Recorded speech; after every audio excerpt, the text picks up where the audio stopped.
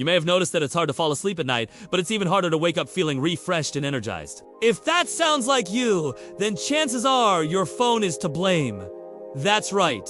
Your phone could be disrupting your sleep in ways you never imagined. You see, our brains have an internal clock called the circadian rhythm that controls sleep wake cycles and other important functions. And one of the ways this rhythm is regulated is through a hormone called melatonin, which is released when it's dark to signal that it's time to sleep. But melatonin production is highly sensitive to light, especially blue light. And guess what? Your phone screen emits a lot of blue light.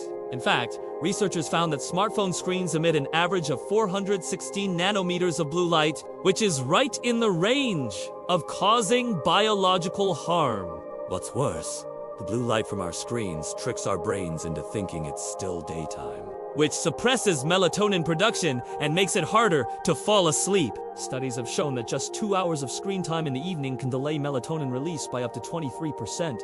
And it's not just phones. TVs and computer screens also emit blue light and have been shown to disrupt sleep, especially when used close to bedtime. But don't worry, because I'm gone now to tell you three simple fixes to protect yourself from harmful blue light and get a good night of sleep. First, turn on night shift or blue light filters as soon as the sun goes down. This will help shift the color temperature of your screen to warmer tones, which emit less blue light and are easier on your eyes. You can schedule these filters to activate automatically at a certain time or you can do it manually.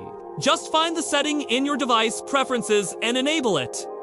It's that simple. Second, avoid screens for at least 30 minutes before bedtime. This gives your brain time to wind down and produce melatonin naturally. You can use this time to do something relaxing like read a book, take a bath, or stretch. Just avoid looking at any screens during this time. And third, switch to warm light lamps in the evening. These lamps emit a wavelength of light that signals to your body it's time for sleep. You can use them in place of your regular light bulbs. Or you can buy blue light blocking glasses to wear in the evening. So, if you struggle to sleep at night, try these three tips to block blue light and get a good night's sleep.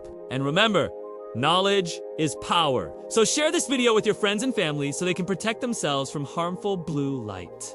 And if you want to learn more about blue light and how to protect yourself, click the link below. Thanks for watching!